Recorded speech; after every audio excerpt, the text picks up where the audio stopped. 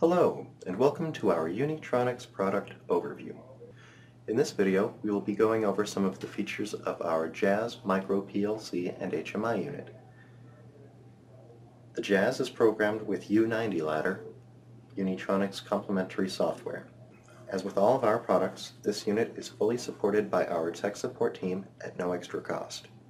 In addition to the Jazz unit, the package will include an installation guide, which will include instructions for DIN rail mounting, panel mounting, as well as I.O. wiring diagrams. The package will also include a set of terminal blocks for connecting power and I.O., a DIN rail clip for DIN rail mounting, and a COM module cover.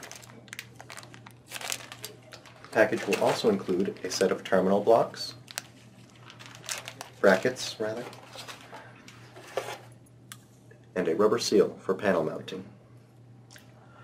The front of the Jazz will have a two-line ASCII display along with 16 function keys set in the panel face. The panel face may either be flat black or the classic silver and gray raised bezel. The back of the unit will detail I.O. type and location with the input terminals on the top and the output terminals on the bottom. There's also space for the DIN rail clip. The Jazz is available with nine different onboard I.O. configurations designated by the model number on the side of the unit.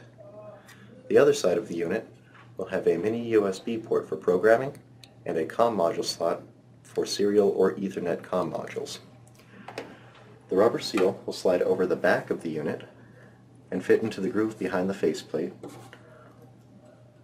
while the brackets slide into their slots on both sides of the unit. If this is properly installed on a panel, the unit will meet IP65 and NEMA 4X environment ratings.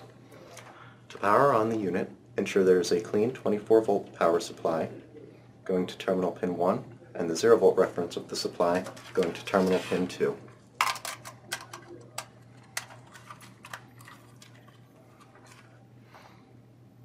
Thank you for watching our Unitronics product overview.